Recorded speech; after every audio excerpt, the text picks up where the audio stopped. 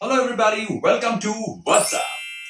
So the word for the video is fallacious. Once again, fallacious.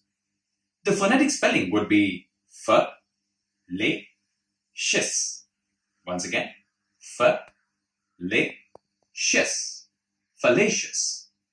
Now fallacious comes from the word fallacy.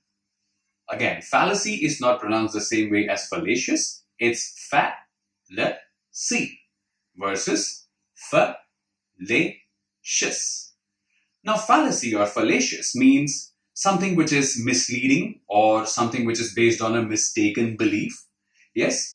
Now, one way in which you could use fallacious in a sentence is the evidence that was given in the court was fallacious or was based on a fallacy, a mistaken belief, or a misleading belief. Another smart way in which you could remember fallacious or fallacy is the belief that older people take more time to fall asleep is fallacious or based on a fallacy. Fall asleep, fallacy, fallacious. Yeah. This is how you try and remember fallacious.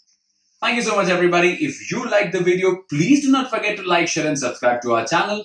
We are WordsUp.